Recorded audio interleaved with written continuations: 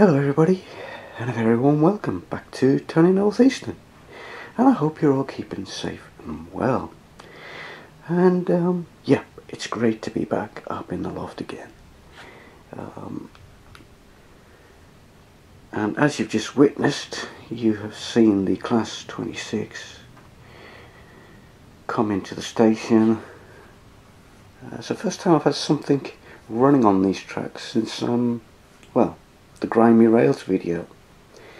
And uh, yeah seems to be all working. The points and everything seem to be working on this small section of track which is good news. So where are we at? Well the previous video was about um, the designing of the station which uh, which yeah I'm quite happy with and uh, hopefully we'll get started on that soon. But there's still one thing left to do and that's the Great Walls of Jarrow that I had started before I had uh, well contracted COVID. So let's have a look at what we've got so far. So remember a while back we had a, a brick wall here uh, which I took out, replaced, and um, yes, I have finally capped it off. And it kind of matches the existing. Right, it's slightly darker, but uh, you would never know that that supporting wall was there. If we come down so we're virtually level with the tracks, you can't see Jarrow wall, which is good because I didn't particularly want to have that wall proud of the stone wall. The capping stones, I have done this oh, I don't know how many times and it just seems to come out quite well every time. The dirty grimy look. Now what I've done this time round, slightly different from before. Normally I build these um, main capping stones up with um, lollipop sticks and then chamfer the corners. But with this one I've just used the lollipop stick and then just put a groove in it. That's all I've done. So they're the lollipop sticks and these are the coffee stirring sticks. And I just kind of um, helps finish off that wall. And here's a couple of examples here. I just flip that over. You can see where I've scored it with a coping saw. Or if you've got a, a razor saw, that would do the same. Um, it might, it might even be better actually because you get a finer cut. But that's all it is. Lollipop sticks and coffee stirring sticks. Glued on using PVA wood glue. And just let them settle overnight and then come back the following day and then paint them. Um, basically I've done a yellow um, paint to start with which I use an enamel paint because I think it's better to use enamel paint for the the coat because it draws into the wood better I think. And then after that I used um, acrylics. Black white and green. Um, various shades black and white mixed together. So you get different tones because if you look closely each one of them slabs is a slightly different colour to the previous slab. So there you go. So that's this end of the wall which I'm quite happy with. And um, as a little reminder to myself these are coffee stirring sticks. I've just left the end round. Let's finish that edge off. Probably won't see that actually because it's slightly lower than the stone wall, but um, yeah, it's just a yeah, it's just my way of doing things. um, I've still got to take this edge out because you can still see the white car. But what I might do there, I might just build it up with greenery and hide that edge. But uh, we shall see.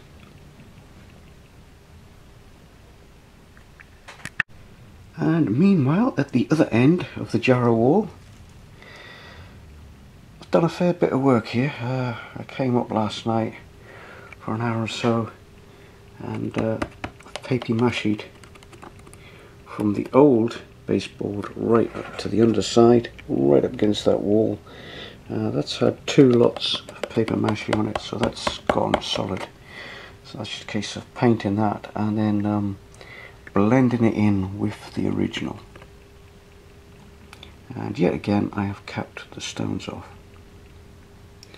And uh, I ain't got a clue how he got there. Because the bridge is not up. Hmm. Something fishy going on here. Anyway, so getting back to the subject matter, matter, matter. Um, yeah, same goes for these capping stones coffee stirring sticks and lollipop sticks.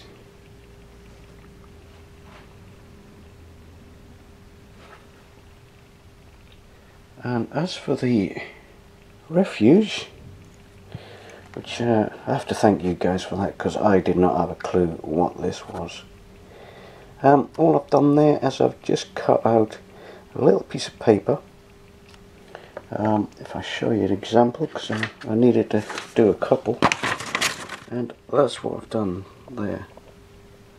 And I pressed it pretty hard with a pen. And then uh, I glued it over that edge the top edge and then just um, lightly dabbed it with some grey paint and a little bit of um, green. I think I've gone over the top with a green but um, still looks like it's um, been there forever. So, where do we move on from here? Good question. The walls are almost finished, but still one more wall left to do. And it's this wall that goes on this side. Um, I'd rather do it now while I'm doing the walls because uh, I've already made the opposite buttress for this side to go here and I've also done the capping stones so it should end up the same width and everything for this side. So let's get cracking. So what we're going to do here is obviously we want to bring the ground level up but I want to do it quickly rather than building it up with paper mache like we've done on the far side. So we're going to use fiberboard here which we'll uh, talk about in a minute. So what I'm going to do now is go from the edge of the rail and a line for the card as well. So that we're talking about 30 33 millimeters from the edge. So if we do that all the way along 33 33 then we'll be able to get a nice curved shape which will follow the track. Um, that's what I'm thinking anyway. So something like that. Now going to join all these dots up. And uh, mark it and cut it put a few extras in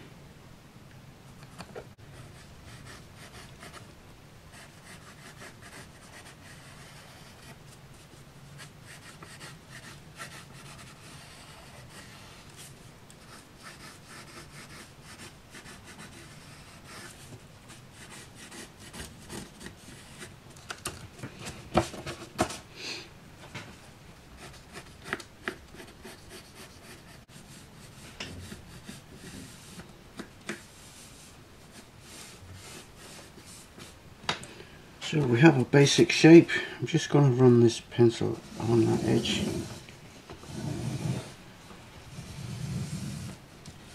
we can cut that off as well. Right, so we shall cut that. This is the fibre board I'm using. They actually use it for insulating homes. Now you can pick it up at Wickes. Um, I just happened to be given this piece by Chris over at Wheezy Palace. Uh, so, thank you Chris for that. Told you it would come in handy. We've marked it now. So this line here will go along where we marked it and this is the curved edge. So we'll cut that out and what I'm going to do, I'm going to use some grip fill to stick it to the baseboard and then what I'll do is I'll, there's another layer to go on top of this to bring it up to the height that I want it. Now we have an instant hillside. And I think it's a lot, lot quicker than trying to paper mash it all. Um, I've added a piece of 6mm ply to bring it up to the same height as this bridge abutment here. Because that's 58 and this is 56 now with that piece of plywood on. And by the time I add a 2mm road uh, a card there for a 2 mil road. That should bring it up to the 58 that'll be ideal for the bridge across. The new hillside is firmly bedded in so it's time to mark out a few critical positions. Mainly the bridge um, opening here and here. It roughly works out at 35 millimeters in width on the inside of this uh, buttress here. So we've transferred that across. So what we're going to do, we're going to start by building from the centre of this hillside outwards.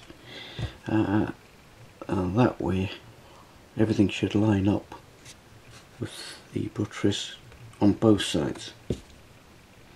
That is the cutting plan.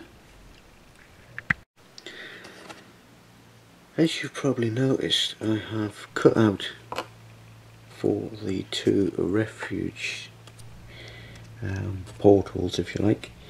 And um, here is the actual wall that's going to go in place. You see I've already pre-stoned the back edge of the walls on both of them. And uh, as you can see there, I've just added the card as well. So now that should fit in there snugly as it forms the shape of the wall. As you can see it is quite narrow in there. It's just enough width for one track as it's always been. Well, it's always been the idea anyway. So the next thing to do is to glue this in place with some PVA wood glue let that go off overnight and then I can clad it with some card. Some three hours later, or shall I say three evenings later, at an hour apiece, we have more or less finished the walls leading into Jarrow Road Station, uh, which is uh, quite an amazing feat really considering the amount of measuring and cutting I had to do.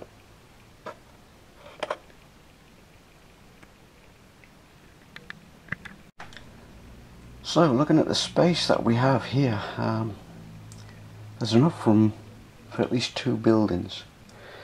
Um, probably a farmhouse here and of course the Wylam terraced house or cottage here. So yeah, you got 160 by, oh yeah, 130 deep. So yeah, so a couple extra buildings to go in this little area here. And uh, that is what this layout is lacking, buildings. And managed to find time to put a door in.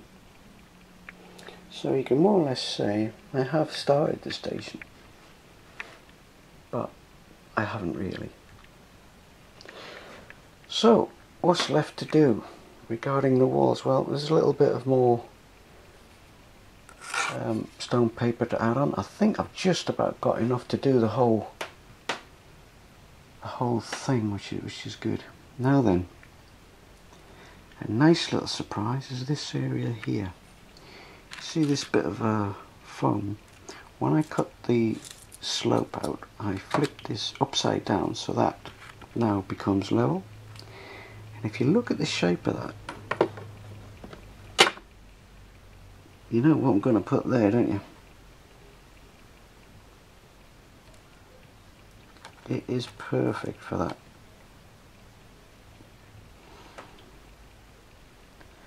then by the time I get trees and foliage around there you probably won't see um, that as much as you would like to see it but, uh, but yeah that fits in there perfectly.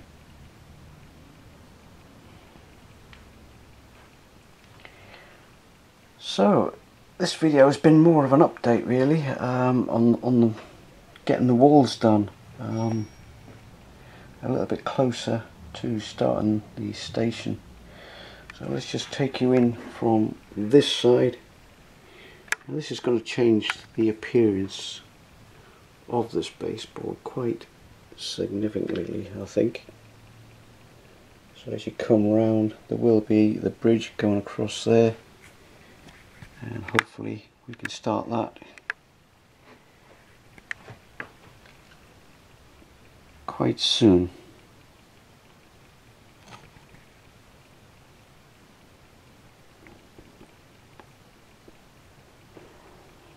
So, I hope you've enjoyed what you've seen. It's been more of an update, uh, like I've already said, rather than um, cutting, watching me cut the card. I'd rather just uh, get on with it, because you know, uh, it's just basic modelling really. It's nothing um, fancy here, uh, as far as I can see. I mean, if it was a building or something, I would have took you through it step by step. And talking about taking you step by step, when I come to build the station. Uh, a few of you have asked to go through the drawings again right at the very start, which I will do. So, until next time, enjoy model railways. Bye for now. Bye.